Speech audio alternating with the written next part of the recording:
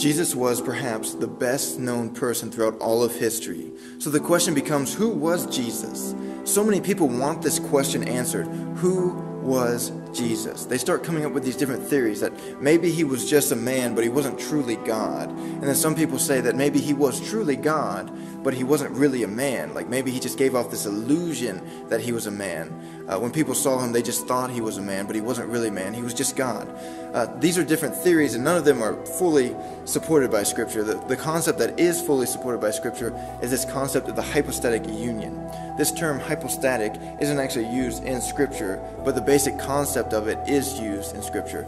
And it's the concept that Jesus was man, fully man, and he was fully God, unified as one.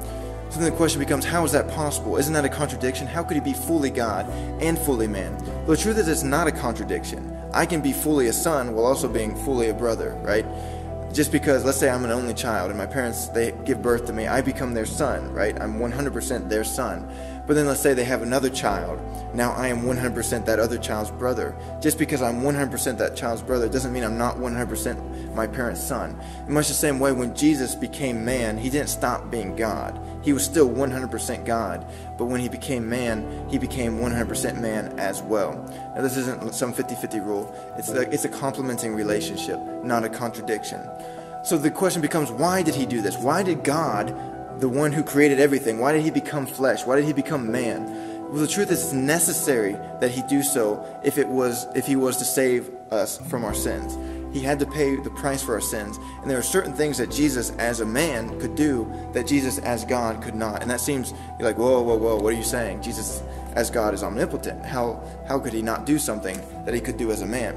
Well, there's there's things like Jesus being eternal, right? Jesus had no beginning. It says in the beginning was the Word, and if you look up the context, it's talking about Jesus. That word logos mean is talking about Jesus. So in the beginning was Jesus, and Jesus was with God, and Jesus was God. The same was in the beginning with God.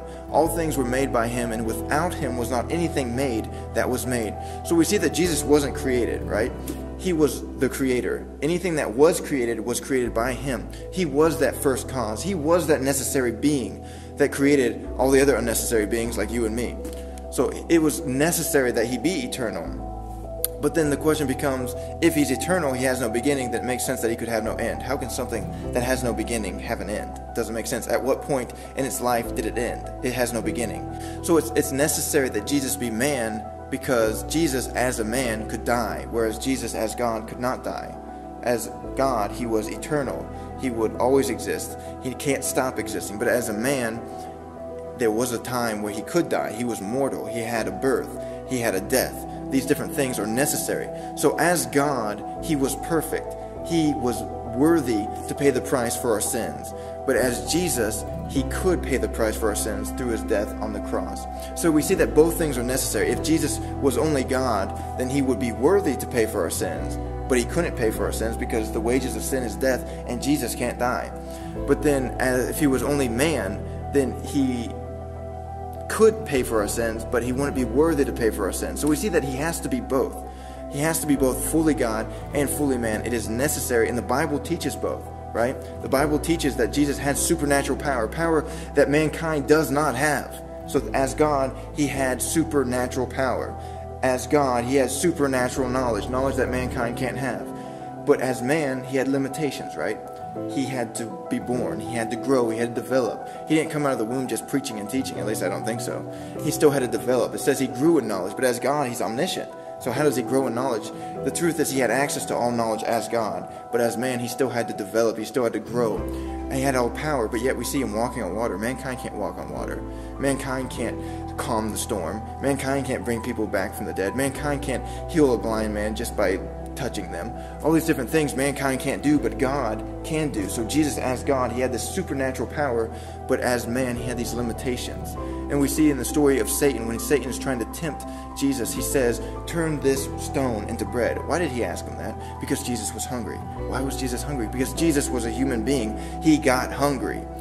And then Jesus refused to do it. So we know that Jesus had the ability to do it, but that doesn't mean that he always used his supernatural power to do things, right? So he had access to this all this power, but he didn't always use it. In much the same way, I think he had access to all knowledge, though he didn't always uh, use it.